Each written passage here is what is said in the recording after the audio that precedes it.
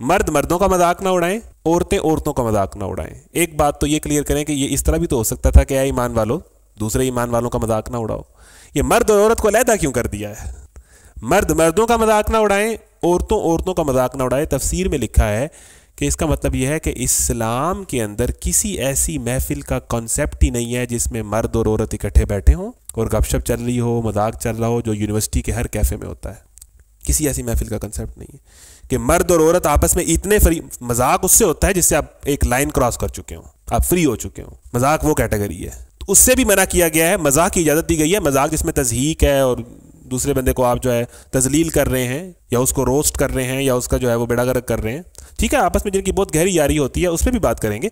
लेकिन मर्द मर्दों का मज़ाक उड़ाना, यानी कोई ऐसी महफिल का कंसेप्ट नहीं है इस्लाम के अंदर के जहाँ पर मर्द और औरत इकट्ठे बैठे हों और खुशगपियाँ और मज़ाक और जुगतें और टॉन्ट्स चल रहे हों। यही ड्रामों ने प्रमोट किया है और यही यूनिवर्सिटीज़ में हो रहा है।